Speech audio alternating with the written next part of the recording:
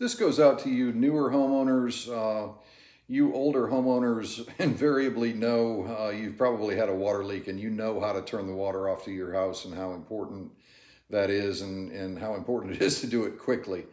Uh, there are two places to turn your water off to your house. One is your water main.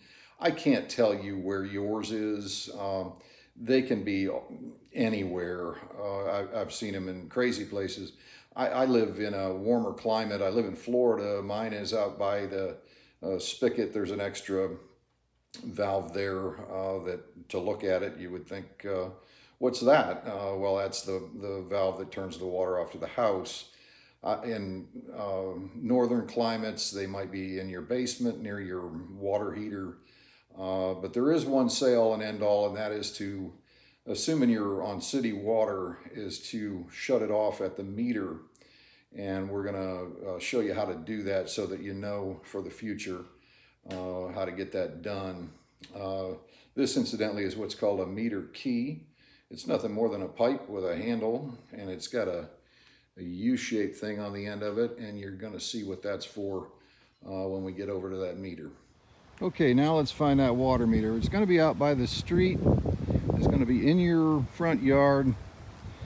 And we're going to just kind of walk along and take a look. And we're looking for something that looks a lot like that right there. Yours might be different depending on where you're located. Uh, it may be round but in my case it even says water meter right on there. Now let's get in there. I like to use something other than my fingers uh, because sometimes this can be a favorite hiding place for uh, some scorpions and snakes and frogs and so on. Uh, and what you want to do is just kind of lift this up. Mine actually just pulls right out of there. I've already been in here, so I'm, I'm going to put my hand in and I'm going to pull this right out. Once we're in here, and this is our meter, by the way, and on the street side of the meter, we're looking for something like that right there. That's our valve.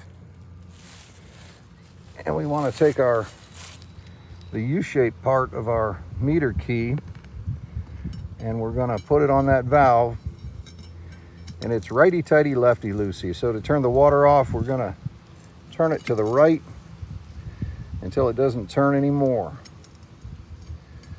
Take it off there, go deal with our water leak. And when we're done, we're going to come back and then it's going to be lefty-loosey.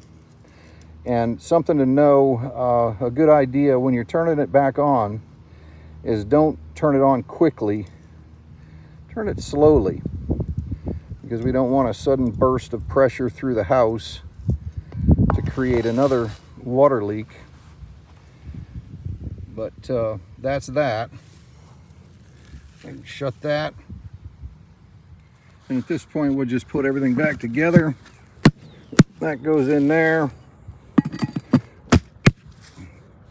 There we go, all buttoned up. And just to close, uh, everybody in the family should know where that meter is and how to shut it off, uh, just in case of an emergency. Uh, even the kids, the kids should know. Uh, everybody should have a meter key as well. Not that you can't shut it off with a wrench, but sometimes a lot of dirt down there and a lot of people don't like digging around. This is a good thing to have. Uh, they're cheap. Uh, you can get them at uh, uh, your local home improvement store. And if it's helpful, I'll stick a link uh, down in the description for you. but again, thank you. I appreciate you're watching. Uh, if you like this kind of stuff, like, subscribe, share it with your friends. Uh, I appreciate you. Bye.